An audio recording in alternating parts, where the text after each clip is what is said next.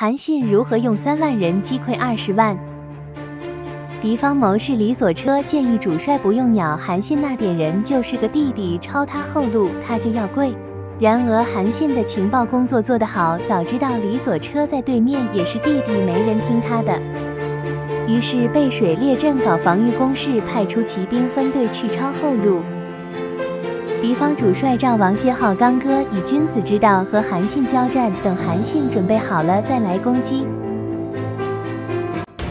韩信心里有数，面对七倍敌军，硬是抗了下来，就等小分队唱一曲《菊花残》。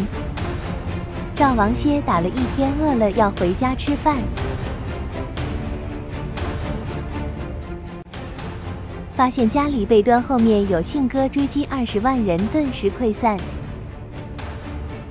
背水一战战法后世成功复制者屈指可数，把自己陷入绝境，动弹不得，还能取得胜利，靠的就是韩信的情报工作太好，犹如开了天眼。韩信所训练士兵太厉害，在绝境中仍能执行命令，你不点赞谁点赞？